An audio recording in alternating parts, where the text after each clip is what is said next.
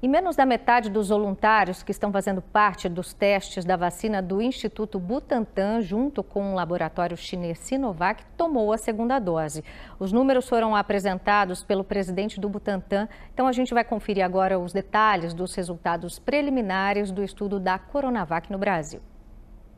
São quase 9 mil profissionais da saúde voluntários. Eles tomaram 12 mil doses da vacina ou de placebo. Nem todo mundo tomou a segunda dose ainda. As reações mais comuns entre os participantes do estudo após a primeira dose foram dor no local da aplicação e dor de cabeça. Na segunda dose, as reações adversas mais comuns foram dor no local da aplicação, dor de cabeça e fadiga. Febre baixa foi registrada em apenas 0,1% dos participantes e não há nenhum relato de reação adversa grave à vacina até o momento.